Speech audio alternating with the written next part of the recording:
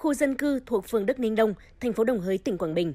Theo phản ánh của người dân, thời gian gần đây, công ty trách nhiệm hữu hạn Hoàng Huy Toàn ngang nhiên tập kết cát, xây dựng gây ô nhiễm môi trường và mất an toàn giao thông. Cả một khu đất rộng trải dài theo trục đường lớn ở Bạch Đằng bị công ty này biến thành bãi tập kết cát xây dựng.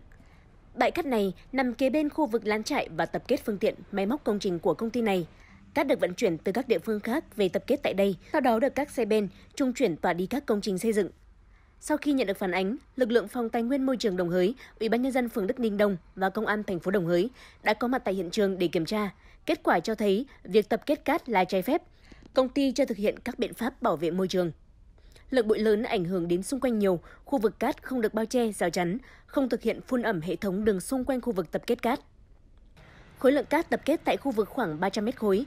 Theo đại diện của công ty, do việc vận chuyển cát để thi công công trình đường 36 mét nối cầu Nhật Lệ 2 đến nhánh đông đường Hồ Chí Minh không thuận tiện nên phải sử dụng khu đất này để trung chuyển. Việc tập kết cát tại khu vực này là do công ty tập kết tự phát. Đại diện công ty cam kết sẽ giải tỏa toàn bộ khối lượng cát đất trong thời gian 3 ngày, kể từ ngày 24 tháng 2 năm 2021, hoàn trả mặt bằng khu đất như ban đầu.